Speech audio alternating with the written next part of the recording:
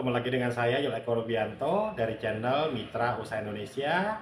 Bapak Ibu sekalian, pernahkah Bapak Ibu mendapatkan email kewajiban lapor dari WSS? Nah, jadi untuk kita yang mengurus perizinan melalui WSS, memang kita memiliki kewajiban ya untuk lapor LKPM 3 atau 6 bulan sekali. Jika kita tidak lapor, maka itu ada uh, sanksinya mulai dari peringatan sampai dengan penutupan izin usaha. Nah, untuk Anda yang masih bingung bagaimanakah cara lapornya, silakan ikuti video ini sampai habis. Dan jangan lupa untuk Anda yang belum subscribe, silakan subscribe dulu.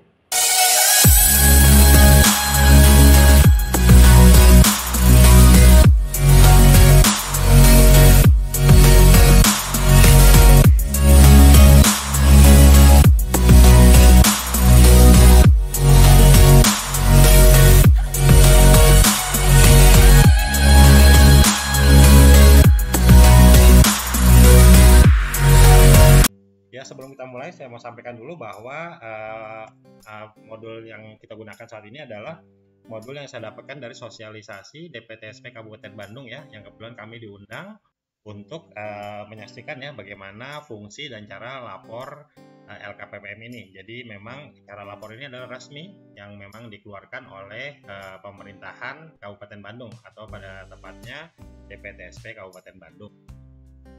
Baik, uh, kita akan mulai dengan apa itu LKPPM. Jadi LKPPM itu adalah laporan perkembangan uh, realisasi ya penanaman modal atau permasalahan yang dihadapi oleh pelaku usaha.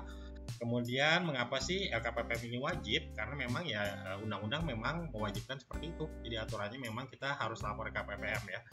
Kemudian apa sih tujuan lapor LKPM? Ya tujuan lapornya adalah agar ada komunikasi ya antara pemerintah dengan kita pelaku usaha dan juga sebagai uh, para investor. Untuk dasar hukumnya, Bapak Ibu bisa cek ya di sini ada dasar hukumnya banyak sekali, mulai dari Undang-Undang Nomor 25 Tahun 2027 sampai Peraturan BKPM Nomor 5 Tahun 2021. Di Bapak Ibu yang mengecek silahkan bisa di screenshot saja ya ke layar ini. Kita uh, tidak akan bahas lebih lanjut, kita akan lanjut ke uh, berikutnya tentang uh, sanksi ya. Jadi kalau kita kalau kita tidak lapor itu ada sanksinya. Jadi kelapor ini wajib, ada undang-undangnya dan kalau tidak lapor pun ada sanksinya sanksinya itu dilakukan secara bertahap. Yang pertama itu peringatan tertulis ya. Peringatan tertulis ini disampaikan kalau kita yang pertama itu kalau kita tidak lapor dalam dua periode berturut-turut. Misalnya kita wajib lapor itu Maret ya atau bulan Juli kita tidak lapor dua kali berturut-turut itu maka kita uh, kena uh, sanksi tertulis ya atau misalnya saja kita uh, lapor ya tapi selama empat kali itu uh, KBLI yang kita daftarkan itu tidak berkembang artinya uh, uh, tidak dijalankan usahanya. Nah itu juga kita bisa kena peringatan tertulis. Makanya di sini kami selalu menyarankan kan banyak sekali pengusaha-pengusaha atau bapak ibu sekalian bikin perusahaan pengennya tuh KBLI dimasukkan semua gitu ya banyak. Tapi uh, yang perlu bapak ibu ketahui bahwa itu ada kewajiban lapornya. Kalau kita nggak lapor, maka itu kita bisa kena uh, peringatan tertulis ya kalau kita tidak jalankan. Sanksi peringatan tertulis ini diberikan secara bertahap. Tahap pertama itu eh, uh, 30 hari ya. Kalau misalnya kita dua misalnya dua periode kita tidak lapor, maka kita akan ada peringatan pertama kasih waktu kali kerja untuk lapor. Kalau tidak lapor juga maka kita akan kena peringatan kedua ya. Uh, lalu dikasih waktu 15 hari kita untuk lapor dan kalau selama 15 hari itu kita tidak lapor juga maka kita akan kena peringatan ketiga. Jadi waktu dikasih waktu 10 hari untuk lapor. Kalau setelah 10 hari kita tidak lapor juga akan ada sanksi pembekuan uh, usaha kalau kita tidak lapor ya. Uh, nah untuk pembekuan ini kita dikasih waktu 30 hari lapor. Ya setelah dibuku kita 30 hari lapor. Kalau 30 hari itu kita tidak lapor juga maka kita akan kena sanksi pencabutan izin usahanya akan dicabut ya Bapak Ibu sekalian makanya uh, laporan ini uh, kita anggap suatu yang penting untuk Bapak Ibu sekalian Lalu sanksi ini bisa hilang atau dihapus gugur ya kalau seumpama Bapak Ibu lapor. Jadi misalnya Bapak Ibu kena peringatan kedua dan lapor, maka uh, itu dianggap nanti ulang lagi ke peringatan pertama. Jadi sanksi ini sudah dihapus. Seperti itu. Oke, uh, jika ada pertanyaan silahkan nanti bisa tuliskan di kolom komentar Bapak Ibu sekalian. Baik, sekarang bagaimana siapa sih yang wajib lapor LKPM ya? Jadi uh, semua ya, semua yang ngurus izin melalui OSS ini wajib lapor. Kecuali yang pertama pelaku usaha mikro. Usaha mikro itu usaha yang modal usahanya kurang dari satu miliar. Kalau nanti kalau bapak ibu bidang usahanya banyak kan nanti akhirnya modal kerjanya itu lebih dari satu miliar. Maka bapak ibu sudah wajib lapor. Makanya kami sarankan sekali lagi uh, untuk di NIB itu tidak perlu uh, lapor banyak-banyak ya jadi kalau misalnya modal kerjanya masih kurang dari satu miliar bapak ibu tidak wajib lapor kemudian untuk perusahaan tertentu ya seperti migas, perbankan itu juga nggak wajib lapor, dia ada laporannya sendiri ya, jadi tidak melalui OSS. Kemudian juga untuk yang ya, izin-izinnya sudah hangus itu juga sudah tidak wajib lapor ya. Jadi yang wajib lapor adalah yang izin-izinnya masih berjalan. Oke, kemudian kapan waktunya LKPM ini disampaikan? LKPM ini ada periode-periodenya ya. Jadi untuk yang uh, modal kerjanya itu lebih dari 1 miliar itu wajib lapor per 3 bulan sekali dalam satu tahun pelaporan. Jadi setelah satu tahun itu eh, empat kali lapor. Eh, sedangkan untuk usaha yang 1 sampai 5 miliar itu 16 kali ya. Jadi setahun dua kali lapornya. Tanggal-tanggalnya itu untuk yang di atas 5 miliar triwulan pertama itu dilakukan dilaporkan pada bulan April, triwulan kedua dilaporkan pada bulan Juli, Sedangkan triwulan ketiga dilaporkan pada bulan Oktober dan triwulan keempat dilaporkan pada bulan Januari tahun berikutnya. Sedangkan untuk yang antara modal 1 sampai dengan 5 miliar itu dilakukan uh, dua kali lapor. Uh, yang pertama itu pada bulan Juli. Kemudian untuk uh, laporan kedua itu dilakukan pada bulan Januari tahun berikutnya.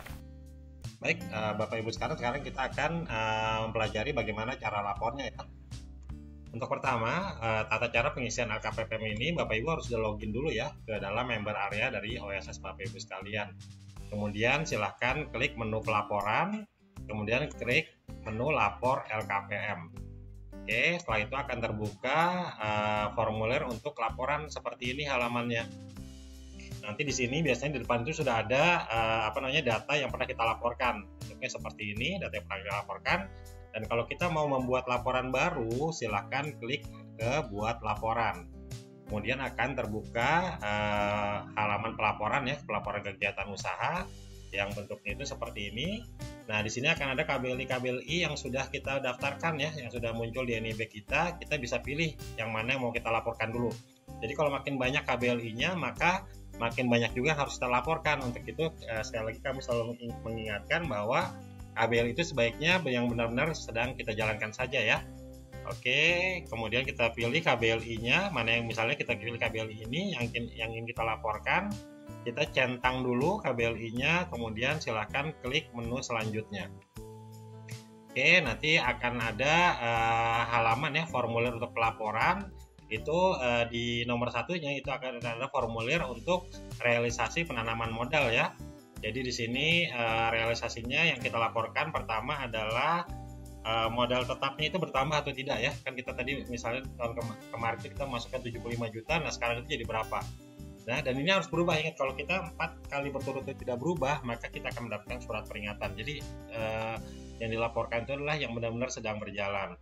Kemudian ini modal kerjanya uh, itu pertama tadi ya, tidak ya modal kerjanya tiga bulan pertama itu silakan diisi. Kemudian uh, di sini akan muncul secara otomatis ya total dari akumulasi modal kita. Jadi sini kita akan kelihatan nanti kita itu masuk ke usaha uh, mikro, kecil, menengah atau besar. Kemudian di sini tulis ya uh, penjelasan tentang relasi modal kita ya, kenapa uh, modal kita bertambah, kenapa berkurang, atau kenapa tidak bergerak silahkan bisa dituliskan uh, di kolom keterangan. Dan ini wajib dituliskan karena kalau kita tidak tuliskan nanti ini tidak akan bisa lanjut laporannya. Kemudian ada relasi tenaga kerja ya di formulir di bawahnya ya. Di bawahnya itu kita ke bawah lagi akan ada relasi tenaga kerja berapa tenaga kerja kita berapa yang pertama dan berapa yang berkurang silahkan uh, di sini ditulis saja ya laki-laki dan perempuannya berapa. Kemudian di bawahnya lagi di sini ada kolom permasalahan di sini harus ditulis ya permasalahan kita apa yang tenaga hadapi apakah masalah perizinan apakah masalah tenaga kerja lingkungan masyarakat. Atau kalau tidak ada masalah ya silakan pilih kategorinya tidak ada masalah kemudian diisi juga keterangannya ya jelaskan ya kalau tidak ada masalah jelaskan tidak ada masalah. Kalau ada masalah jelaskan apa permasalahannya. Uh, baik kemudian di uh, kalau sudah simpan permasalahan ya diklik simpan permasalahan. Kemudian di sini uh, data pelapor ya, dimasukkan data pelapornya, siapa yang melaporkan, nama, jabatannya, uh, nomor telepon dan emailnya ya. Oke, di yang melaporkan adalah direktur. Tapi misalnya saja bukan direktur, maka ditulis saja jabatannya kuasa direksi ya. Misalnya bukan karyawan, bukan direktur, maka ditulis jabatannya kuasa direksi. Kemudian kalau sudah jangan lupa centang disclaimer, baru kita bisa lihat pratinjau ya. Pratinjau ini untuk melihat laporan kita sudah benar atau belum. Kalau sudah benar silahkan klik kirim laporan. Nanti laporan akan terkirim, akan ada uh, apa pop up atau jendela yang muncul seperti ini. Kita bisa kembali ke halaman depan, kembali ke halaman semula tadi pertama kali kita masuk, atau kita bisa langsung buat laporan baru ya. Nanti kalau di halaman depan itu tampilannya seperti ini. Tadi kan cuma satu sekarang sudah ada dua ya. Sudah ada dua di sini. Nah statusnya biasanya masih uh, terkirim ya status terkirim. Nah kita nanti uh, lapor ini belum selesai ya. Kalau statusnya masih terkirim jadi ntar kita besok atau dalam seminggu ke depan kita cek lagi lapor kita statusnya seperti apa. Kalau status lapornya itu perlu perbaikan maka itu berarti ada yang kurang. Jadi kalau perbaikan itu berarti ada yang kurang dan perlu diperbaiki. Silahkan klik perlu perbaikan untuk melihat catatan dari petugas verifikatornya. Halamannya nanti seperti ini akan muncul akan lihat ya misalnya seperti ini ya. Ada catatan dari verifikator eh, misalnya gunakan email yang benar atau apa gitu ya. Nah kita perbaiki sesuai dengan apa yang tertulis dituliskan oleh verifikator. Oke kalau sudah kita kembali lagi kita tutup halamannya kita kembali ke halaman pertama kita klik ubah.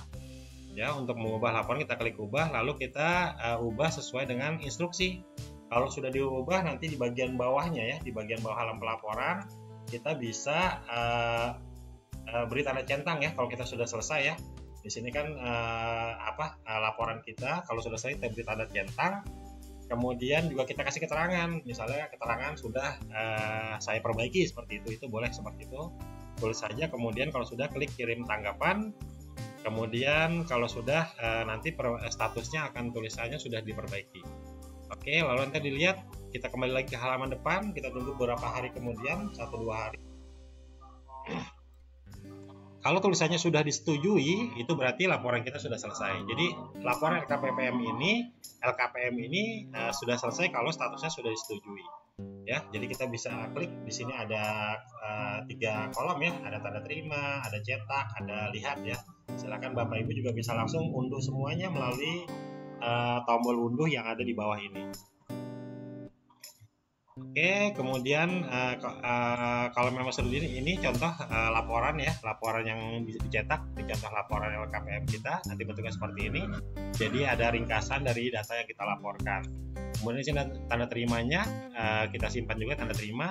Tanda terima ini baru bisa selesai kalau sudah uh, statusnya disetujui.